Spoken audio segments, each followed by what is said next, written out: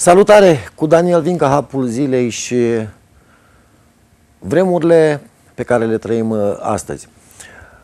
Uneori uh, aplicăm un dublu standard. În timp ce ne mulțumim, deși n-ar trebui să o facem cu o calitate mediocră a unor servicii pe care ni le oferă statul pentru taxele și impozitele noastre și mă refer aici la sănătate, învățământ, de ce nu chiar ordine publică, avem pretenții foarte mari la anumite instituții cerând ceea ce nu trebuie să facă.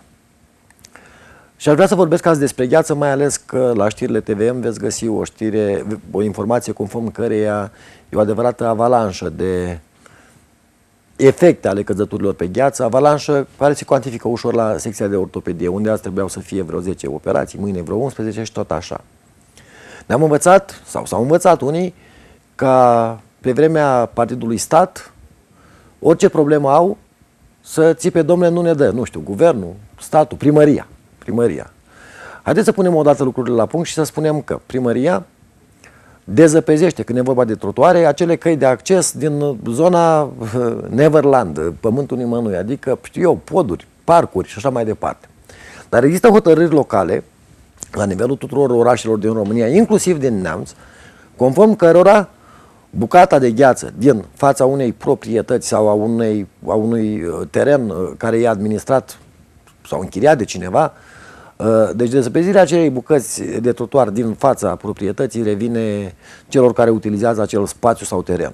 Ca să fim mai clar, să traducem. În fața unui magazin trebuie să dezăpezească proprietarul spațiului sau cel care e chiriaș în spațiul ăla. În fața unui birou de orice natură ar fi el, în fața unei firme, a unui sediu și așa mai departe. În fața unei case, proprietarul casei sau cel care locuiește în casă, în fața unui bloc, responsabilii puși de asociația de proprietari. În ultimele zile am auzit foarte des, uh, știu eu, această problemă. Domnule, e gheață pe trotuare. Și așa este, pentru că vremea caldă topește zăpada, iar peste noapte uh, trotuarul devine patinoar. E mult mai rău decât atunci când e zăpadă. Măcar în zăpadă lunici relativ. Pe când pe un trotuar plin cu gheață e patinoar și este evident că dacă ți-ai pierdut stabilitatea, ai lunecat și poți să pățești ceva, să strupi un picior, de exemplu. Ei bine, azi dimineață, ca un exercițiu de mici dimensiuni, ă, plimbându-mă pe jos undeva între Muzeul de Istorie și fostul sediu al tribunalului, al parchetului, am observat un lucru. Cu mici excepții, să le numim în zona lui 10%, Ambele trotuare de pe uh, strada Eminescu, de pe această porțiune, erau patinoar. La concurență, dacă vreți, cu patinoarul din strand al firmei Perla Invest. Cu diferența că acolo e o chestie serioasă făcută, pe când încoace vorbim de, de o atitudine total neserioasă. În fața blocurilor, gheață. În fața firmelor, gheață. În fața magazinilor, gheață. În fața birourilor notariale, gheață. Sunt și două excepții. Este blocul care are la parter două magazine și o cărciumioară, și un magazin de flori, de secă, nu știu ce, chiar cumva uh, peste drum de Biserica Catolică, un pic lateral. E bine, în fața acestui bloc, trotuarul curățat și uh, super lăudabil pe o lățime de 2-3 metri. Bravo celor de acolo. Și de asemenea am mai văzut o, o excepție, în fața Bisericii Catolice, un bătrânel la 60-65 de ani curăța de zor trotuarul. Dar aceste două uh, cazuri pe care vi le-am evidențiat reprezintă, repet, un 5, maxim 10% din ceea ce am măsurat eu cu ochiul liber și am văzut pe ambele trotuare ale străzii aceste patinoare de, de nedorit.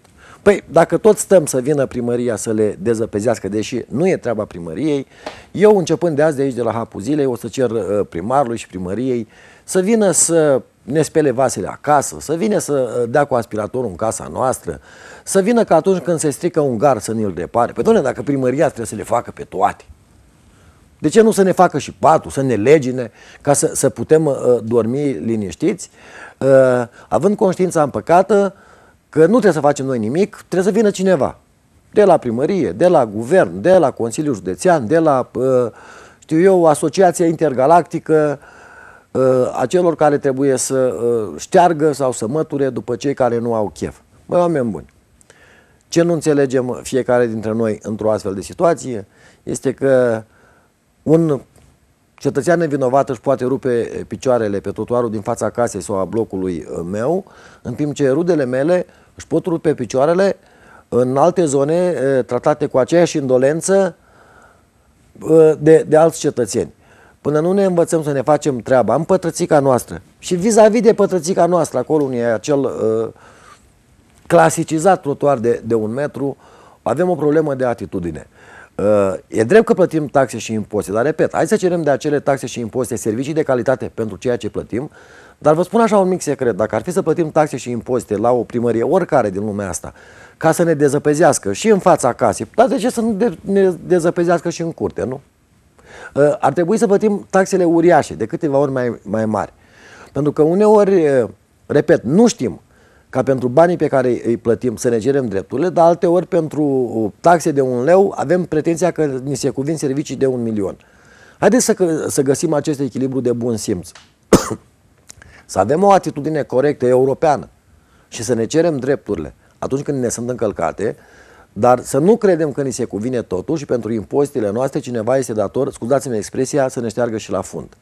Daniel Vinca și Hapul Zilei vă spun numai bine.